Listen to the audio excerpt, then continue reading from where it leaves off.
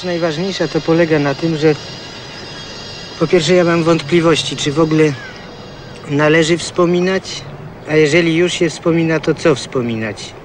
Bo mi się wydaje, że w życiu człowieka są takie dwa zasadnicze momenty. To są reklamiarskie momenty, ale jednocześnie bardzo intymne. Pierwsze to jest y, narodziny, a drugi moment to jest odejście.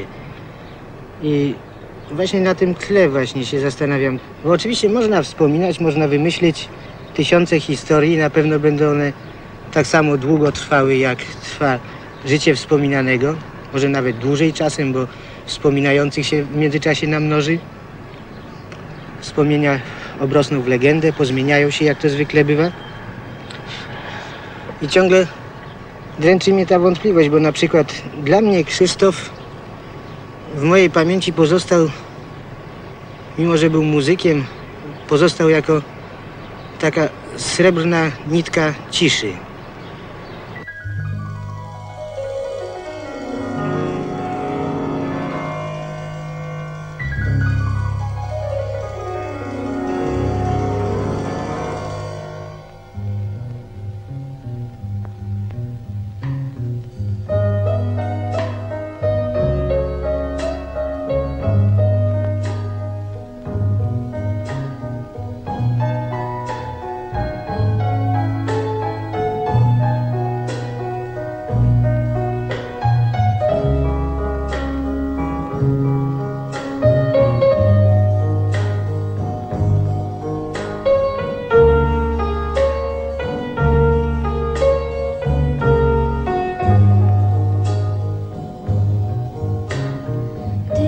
Panie woźny, czy pamięta pan takiego ucznia? Nazywał się Krzysztof Trzciński. Nie pamiętam.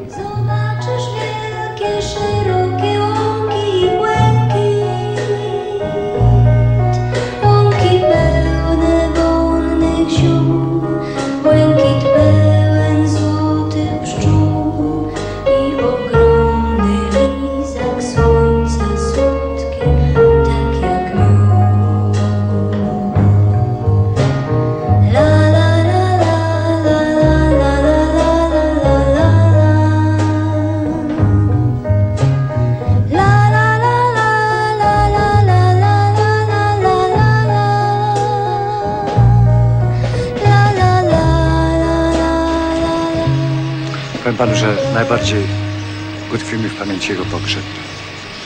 Cmentarz. Grano jego kołysankę z filmu Rosemary's Baby. Żegnano go muzyką, a więc tym, co najbardziej ukochał. I to jego własną muzyką. To było w Zakopanym. Widzieliśmy się z okazji moich imienin. Gośćmi byli także Zbyszek Cybulski, Kobiela. Był także Frykowski.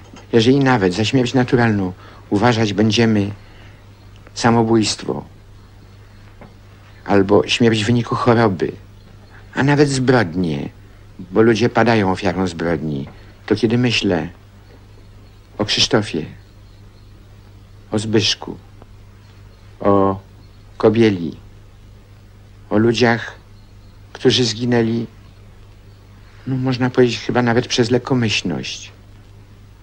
Coś było z ich własnej winy w tym. To wydaje mi się szczególnie tragiczne. O której zbieramy się, żeby poćwiczyć? Nic, pytam, o której mamy się zebrać. Było mówione o trzeciej u niego, tak? Żadnych zmian? Żadnych. Najważniejsze, żeby w domu wszyscy zdrowi byli. Mężczyzn raznych wieków zamykali się szukać skarb. Komeda to ten z lewej, w okularach. Ale My niewinni młodzi czarodzieje ale sadzi. szukajmy ich, aby otruć własne swe nadzieje. Piękna mowa.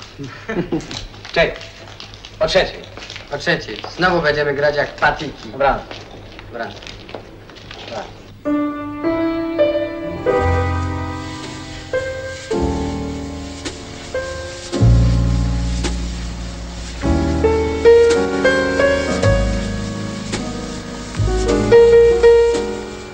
Byłem właściwie jedynym y, stałym członkiem zespołu Krzysztofa. od 63 roku. Krzysztof w zasadzie dawał całkowitą wolność z jednej strony muzyką, a z drugiej strony samą tą muzyką tak jakoś organizował psychicznie nas, że musieliśmy grać właściwie to, co on chce. Trzema nutami właściwie potrafił narzucić całą koncepcję utworu, który nie jest bardzo długi i to utworów o jakichś dużych przebiegach formalnych i sko- dosyć skomplikowanych przebiegach formalnych. Czasami wiele nieprzespanych nocy przed koncertami. Krzysztof dusił członków swojego zespołu jak chyba żaden inny lider. A wystarczyło, żeby na koncercie była jedna pomyłka, natychmiast wracaliśmy z powrotem na salę prób, gdzie jeden fragment czasami tłukliśmy setki razy, aż było W dobrze. słynnym sekstecie w 56 roku założonym przez niego. Właściwie gdyby się zastanowić, to poza nim i poza Jurkiem Milianem nikt tam nie umiał grać, a jednak potrafili wspólnie pod przewodnictwem Krzysztofa zrobić muzykę, która zachwyciła zarówno nas, jak i No mianowicie słuchaczy. to, co jak mi się wydaje powinien mieć chyba każdy artysta. Skromność, jednocześnie wieloznaczność swojej sztuki, a przy tym lapidarność i skrót. Ktoś zawsze mówił, zobaczysz, zobaczysz, że ja skończę w knajpie. Będę normalnie klezmerem w knajpie. Wtedy ja mówiłam, Krzysiu, przecież masz jeszcze medycynę. Nie bój się. On uważał, że jeżeli muzyk do 30 roku życia się nie rozwinie i nie, nie dokona czegoś, to po 30 roku życia już nic nie dokona. Bo najważniejsze w życiu komedy była muzyka. Nie wiem, czy on, można mówić, że on kochał muzykę, czy uwielbia. On był muzyką po prostu. Nie robił tego nigdy na popis, ani na sprzedaż. Tylko grał, po prostu grał, bo musiał grać. Bo był muzyką.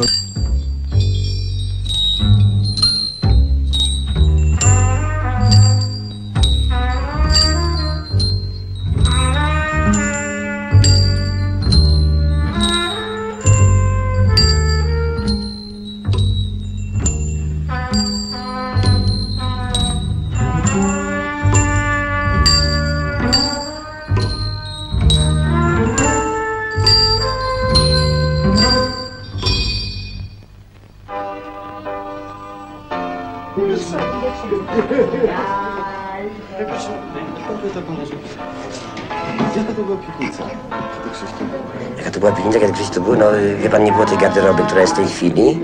Yy, nie było podłogi, nie było ogrzewania, była wtedy pusta zupełnie.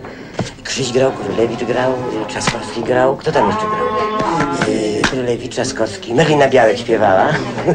Kto jeszcze była? Zosia Kometowa była tą organizacyjną. Przepraszam bardzo. Znaliśmy się jak ja byłam bardzo młoda i on też, jeszcze chyba przed studiami. I no moimi, o, oni mnie na pewno. I jak, jak oni występowali na koncertach takich poważniejszych, my dziewczyny bardzo podlizywałyśmy się do muzyków, bo muzyk wtedy to był człowiek wyższy w ogóle niż człowiek. I największym zaszczytem dla nas było móc zostawić torebkę na podium, na którym grała orkiestra, więc mnie się raz to udało z powodu protekcji właśnie komedy. No grał wspaniale. Ja się zacząłem tym zachwycać i e, dla Kurelewicza wyglądało to podejrzanie. Wziął mnie na bok mi buła, mówi, ty nie właź w dupę i przestań, ja ci zabraniam uwielbiać komedę. Ja wiem, z kolei tego Kurelewicza bliżej miałem zawsze koło siebie, krakowianin, mówię, no ten wyjedzie, ten zostanie będzie mnie prześladował. Była to taka dziwna grupa dziwnych ludzi, gdzie on się znakomicie chyba poczuł w pewnym momencie. A poza tym było znakomite środowisko jazzowe w Krakowie wtedy. Dla mnie był to przede wszystkim ideał spokoju, który znosił wszystkie nasze afery i Zosi wspólne ze stoickim spokojem zawsze. Strasznie lubiłam patrzeć, jak on grał. Miał bardzo, bardzo przyjemny dla mnie, osobiście sympatyczny sposób grania. A o czym opowiadasz? To o Krzysiu jak grał, wiesz, że zawsze szalenie tak pochylony nad klawiaturą, bo robiło wrażenie, że tak, i tak jak wiesz, się męczył tam szalenie, ale tak, tak, tak, właśnie tak szalenie pracował. 8. Krzysztof mieszkał na ulicy Kotkiewicza 8 z Zofią. Podobno było tam bardzo wilgotne, ale tego nie było widać, bo wszystko było zakryte kotarami, dość pięknymi, kolorowymi. No ładnie, bardzo przytulnie. Kiedy się się tam popijało, czy herbatę, czy kawę, to naprawdę wilgoci nie było widać.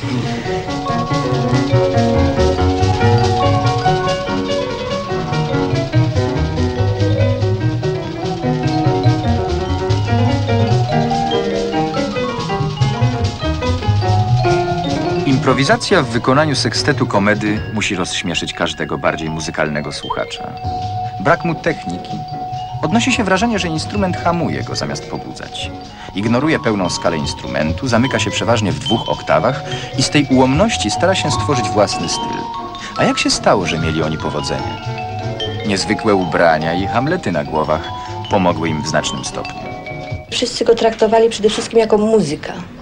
Zdolnego muzyka, kompozytora, aranżera, pianistę. A On bardzo chciał być równocześnie sprawnym mężczyzną zjeżdżał kilka razy dziennie z Kasprowego z kolei, jak byliśmy Zakopanym. Pięć, sześć razy dziennie. Po czym padał, odpoczywał. Ja bym chciała do Watry na przykład, albo gdzieś indziej, do jakiegoś śmiecica na kawkę. Nie było mowy, bo on o piąty rano wstawał i do ogonka, do kolejki, czekał znowu na wjazd na Kasprowy. Strasznie kochał narty.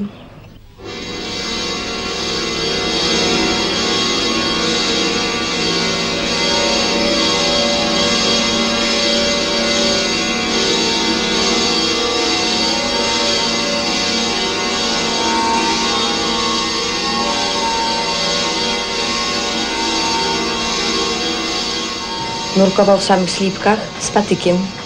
I tym patykiem wyciągał kraby. Był tak z nich dumny i szczęśliwy, że musieliśmy koniecznie je gotować i potem jeść wieczorem na kolację.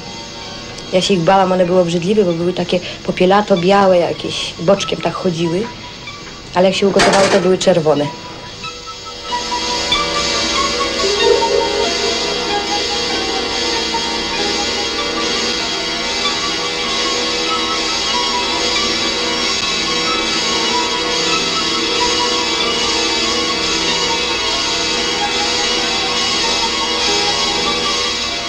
Bardzo kochał samochód. Trochę miałam o to do niego pretensji, bo ciągle chciał mieć sprawniejszy, szybszy samochód. A ja chciałam mieszkanko, mebelki jakieś ładne. Ja patrzę, on tak jedzie, jedzie i akurat tyłem jedzie w kierunku tego drzewa. Ale widzę, że nie hamuje, tylko po prostu uderzył w to drzewo. Zagiął cały zderzak. Ja myślę, Boże, co teraz będzie? Krzysztof wychodzi zupełnie leniwie, spokojnie z tego samochodu. Patrzy na ten zagięty zderzak. Widzę, że schyla się tam. Coś bierze w palce i mówi, żywica, świeża, jak ładnie pachnie.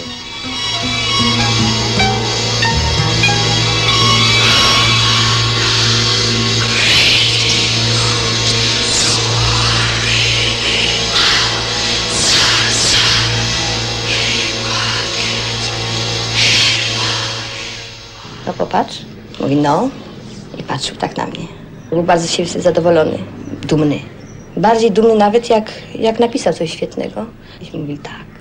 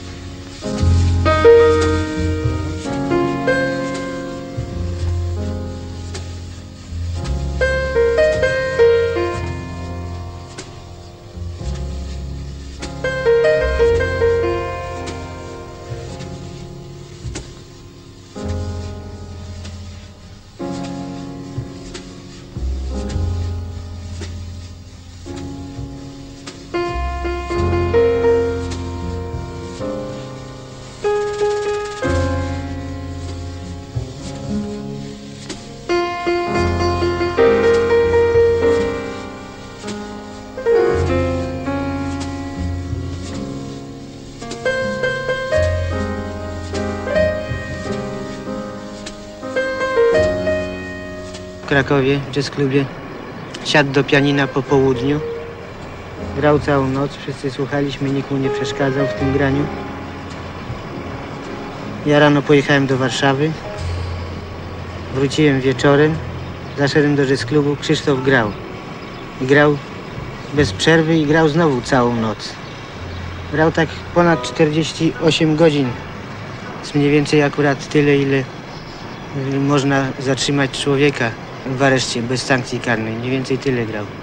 Pianinko po jednej stronie, stolik z nutami po drugiej stronie, kręcone krzesełko, na którym siedział, papier nutowy na stoliku, układał sobie, porządkował równo, tak kant w kant, y, boczki w boczki, żeby wszystko było tak równiusieńko ułożone, obok ołóweczki. Każdy ołóweczek naostrzył, ułożył sobie przynajmniej sześć albo osiem takich ołóweczków, obok długopis do zapisywania. Symetria musiała być tym wielka. Potem patrzył na mnie, chichot taki złośliwy, mówi, ha, ha, ha. Widzisz, jednak mam coś swego ojca, kierownika banku. Język polski Dostateczny. Ściński Krzysztof, urodzony Język 27 łaciński. kwietnia Dostateczny. 1931 Historia. roku. Miejsce Dostateczny. stałego zamieszkania Ostrów Biologia. Wielkopolski, Plac Bankowy 1. Fizyka. Dostateczny. Chemia. Przypomniałam go sobie jako miłego Dostateczny. chłopca, Matematyka. zawsze Dostateczny. urozmaicał nam akademię wszelkie swoimi występami, no, organizator świetny. Ja taki przypomniałam sobie szlagier, który mi utkwił mi z tych czasów w pamięci, mianowicie Ej, ta droga tonie we mgłach. Grał wówczas w orkiestrze. No, był taką podporą mojego zespołu. Ja mu zawsze mówiłem, Krzysztof, ty masz olbrzymi talent. Trzeba go wykorzystać. No ja, czym ty chcesz być? On mi mówił lekarzem. O, daj sobie spokój, tam z lekarzem. Należy się kształcić w kierunku muzycznym. Mówiłem mu raz, ty zagrał no, taką wariację na temat Piekuba. No i on wspaniale wówczas grał, wspaniale. I w ten czas już prorokowało, prorokowało mu wielką przyszłość. To było gdzieś jesienią roku 48, kiedy byliśmy w klasie 10. I wtedy właśnie Krzysiu założył zespół, który nazwał Karioka. Ponieważ chciał występować w zespole na stojąco, musiał kombinować i szukać akordeonu. W przerwach Krzysiu, chcąc się popisać, zaczął grać utwory Chopina. I to całkiem poprawnie. Absolutnie niczym innym się nie wyróżniał. Był jednym z nas. Mimo swojego kalectwa, bo w wieku dziecięcym przechodził chorobę Heide- Medina i utykał na jedną nogę, razem z nami grał w koszykówkę, jeździł na rowerze. Klasie brał czynny udział we wszystkich pracach, które żeśmy wykonywali, które żeśmy robili.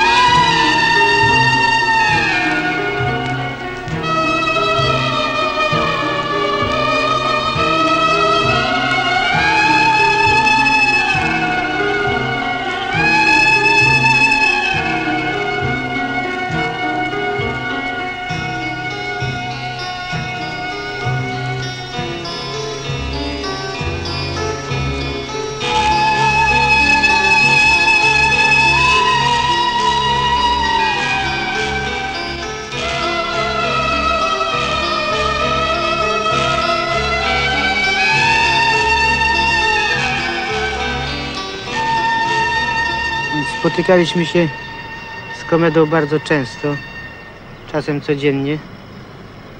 I od razu po przywitaniu zaczynaliśmy milczeć. Z biegiem czasu to milczenie było coraz cięższe i coraz bardziej znaczące.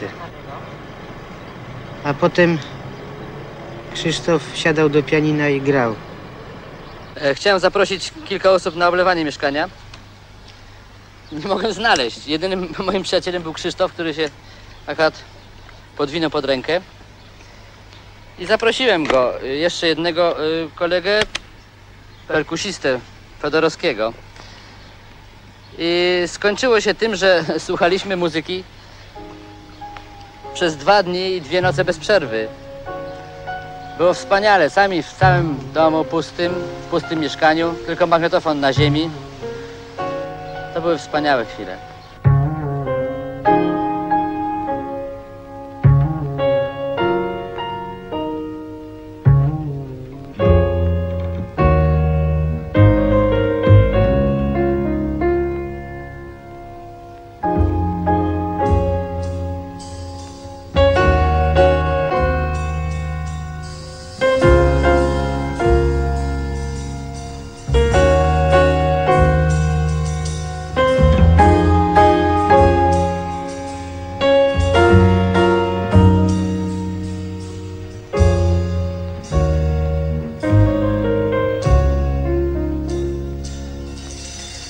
Przystojny w pojęciu mieszczańskim to jest wysoki brunet.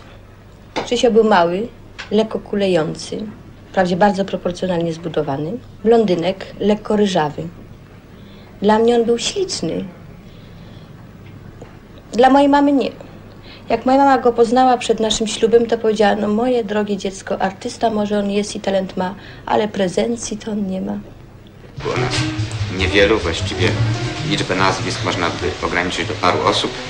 Duduś Matuszkiewicz, Idon Wojciechowski, Witek Sobociński. Witek Kujawski powiedział, że przy do niego koniecznie przyjść, bo właśnie przyjechał jego przyjaciel Krzysztof i urządzimy sobie wieczór, wspólnie sobie jakoś pogramy. Zebraliśmy się wtedy wszyscy bardzo zaciekawieni, no i okazało się, że biegowaty rudzielec, którego nam zaprezentował, Krzysztof Czciński grał w moim odczuciu na fortepianie fenomenalnie. Obydwaj graliśmy na fortepianie, chcieliśmy pracować razem ze sobą, chcieliśmy grać w tym samym zespole. Tak się złożyło, że w okresach naszej współpracy było zawsze jednego z nas za dużo. Dwaj ludzie z szafą, piegowaty Baby, dzień, gdy anioły spadają z Katorna, nieba. niekochana, Salt, Salt, zbrodniarz i panna, Nóż w wodzie, prawo i piękno, Niewinni diamentowa, ubranie prawie widzenia nosa, do jutra. szklana Jutro premiera. pingwin, Wyrok. klatki, start, Przedświąteczny kierowcy, wieczór. Markula, Rondo, monolog bariera, profesor Tutka, kolorowe kłamstwo, The Riot, tak ważnym była y, w jego życiu, w jego twórczości y, twórczość kompozytorska, filmowa, jak i również praca nad jazzem. Mnie się wydaje, że on bardzo dużo zawdzięczał filmowi, jeśli chodzi o samo podejście do muzyki jazzowej, jak również zawdzięczał y, jazzowi, jeśli chodzi o samą muzykę filmową. Był to już chyba dziesiąty, może nawet piętnasty koncert z tego cyklu. Krzysztof improwizował na temat On the Street Where You Live. Pewnego wieczoru muzycy pełnej gotowości, publiczność czeka. No ale Krzysztof utworu nie zaczyna grać. Kręci się niespokojnie na krześle, wyjmuje chusteczkę, wyciera ręce, wkłada chusteczkę, wyjmuje chusteczkę, zaczyna się czesać, poprawiać na krześle. Muzycy patrzą zdezorientowani, myśmy wszyscy się zbiegli, myślimy, może się coś stało, może się źle czuje. Po jakichś pięciu minutach, a może jeszcze dłużej, sala przez cały czas oczekiwała w napięciu. Krzysztof odsunął krzesło, wyszedł za kulisy, ja stałem najbliżej, zwrócił się do mnie i mówi, stary, podrzuć kawałek tej melodii, bo ja zapomniałem, jak to idzie. Wszyscy jego koledzy muzycy, wszyscy jego przyjaciele zazdrościli mu mm, opanowania, spokoju. Ja też myślałam, że on takim jest. Dopiero e, z czasem zorientowałam się, że to jest wszystko maska, to jest powierzchowność, którą sobie narzucił. Że ten człowiek wewnętrznie jest cały czas w jakimś olbrzymim napięciu, zdenerwowany i przeżywający wszystko ogromnie. W nocy nieraz krzyczał bardzo. I wtedy ja go budziłam. Mówiłam, Krzysiu, Krzysiu, coś się coś śni. Wszystko jest dobrze, teraz śpimy, jest noc.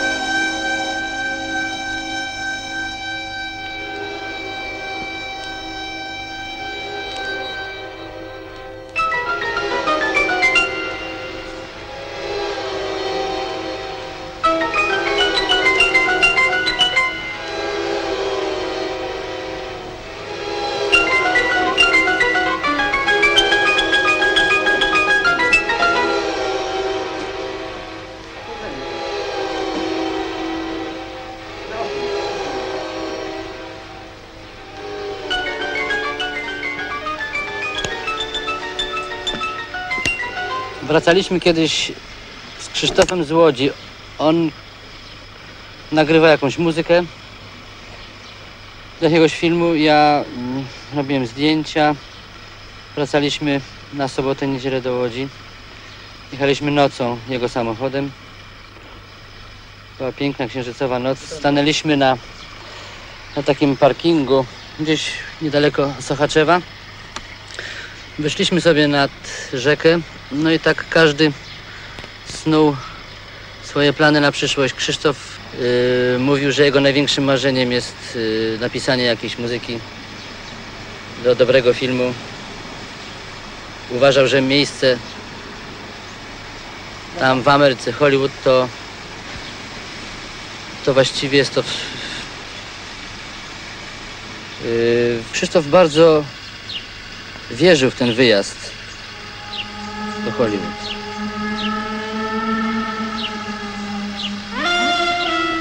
Okazało się, że, że to było nasze ostatnie spotkanie.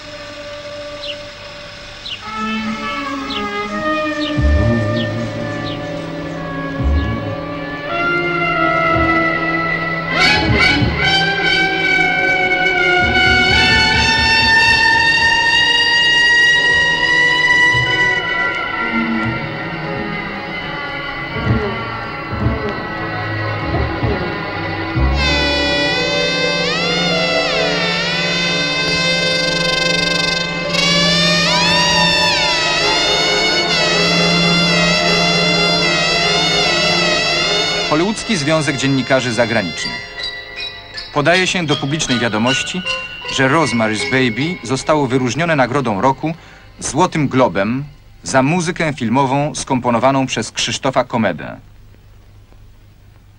Bał się bardzo y, widoku spękanej ziemi. Czasem jest taka glina wysuszona przez słońce, na której jest bardzo dużo takich rys, że też y, wytwarza w nim jakiś lęk ogromny. Śmiałam się z tego, nie mogłam tego zrozumieć. Dlaczego się tego boi?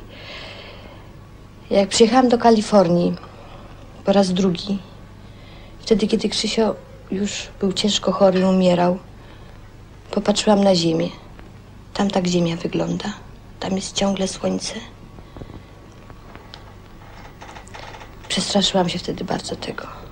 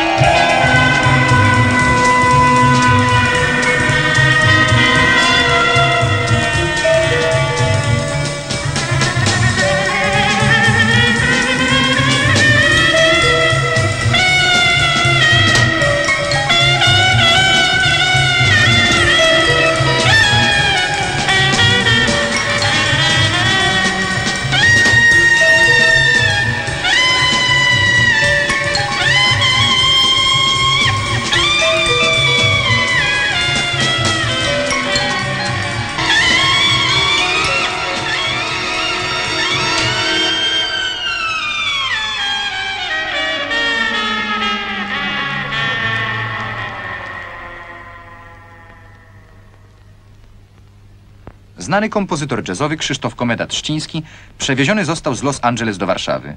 W samolocie towarzyszyła mu żona i lekarz amerykański. Na pas startowy na Okęciu wjechała karetka pogotowia ratunkowego. Krzysztof Trzciński przewieziony został do kliniki neurochirurgicznej Akademii Medycznej. Stan jego zdrowia jest nadal bardzo ciężki. Chory jest od czterech miesięcy nieprzytomny i sparaliżowany. Wypadek wydarzył się w październiku na wzgórzach Beverly Hills w Los Angeles.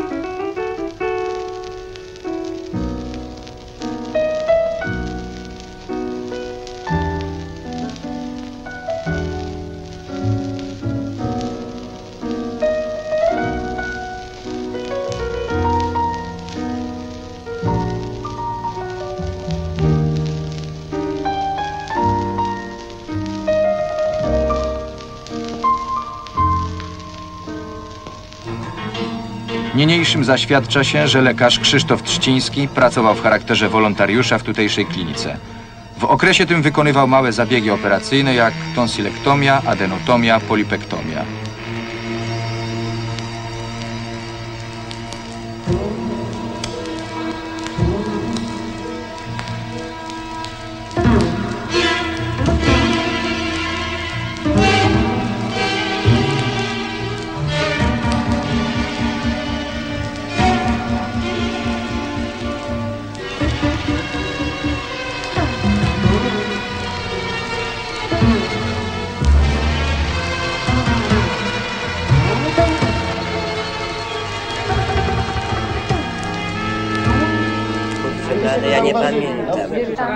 Ja ich chyba namawiałem na to, żeby oni przyjechali.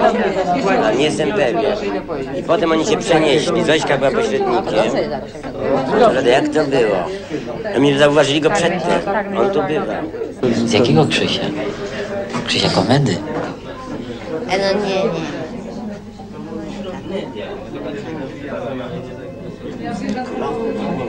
Nie, to nie, nie przypomniałam sobie.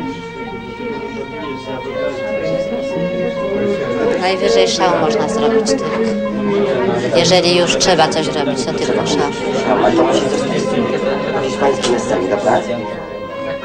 Ale ludzie Była. Hiszpański zostań na scenie. Ty musisz wejść. Komeda! Obecny. Ty. No. Powiedz mi, jakie, jakie są trzy cnoty ewangeliczne? To już koniec. No? Wiara, nadzieja, miłość. Wiara, a cholernie dużo. Cześć. Cześć. La